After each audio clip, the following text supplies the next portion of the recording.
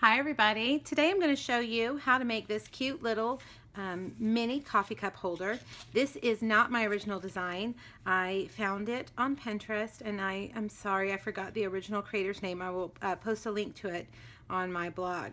But these little coffee cups you can get online. They're adorable um, and I will also put a link to where you can get those. This also is a gift card holder which is perfect for a Starbucks gift card which you can just slide, whoops, have some adhesive in there, which you can just slide right behind there. See how that's right there? All right, so what you're going to need is a 2 by 11 piece of Night, uh, Night of Navy cardstock, and I will list the, the um, score lines for you.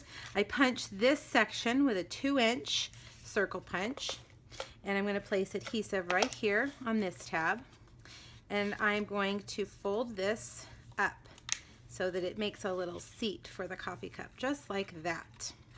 Then I have some of this beautiful designer paper that we're going to put right here. All the measurements I will have listed for you. And then we have another piece of Night of Navy that is 3 fourths inches wide by six and a half. And I have scored it in two places. And I'm gonna put adhesive on the, the two end tabs. And I'm going to place that right there. That's where you're going to slide your gift card. Right in there. All right, so now we're going to put a little piece of DSP on the front as well. Right here. And, all right, next you're going to stamp this sentiment from Flurry of Wishes in real red on an oval that I cut out with my oval framelits. This is the second smallest oval. And I have cut out this beautiful little um, snowflake. I gotta remember the word, snowflake. Uh, with It is with the Square Pillow Box Framelit collection. And I overlooked it for a long time and I saw somebody use it online. I thought, where have I been? That is adorable. All right, so we're gonna put a little adhesive on that um, strip and add that.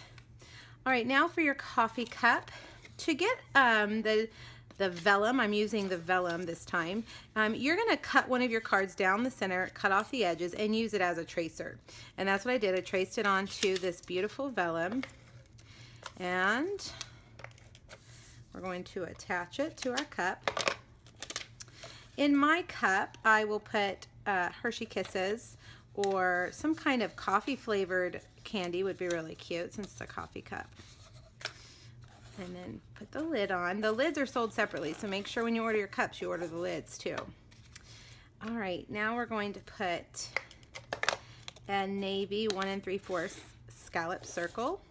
And we're going to stamp another snowflake from the Hello December 2015 stamp set in real red.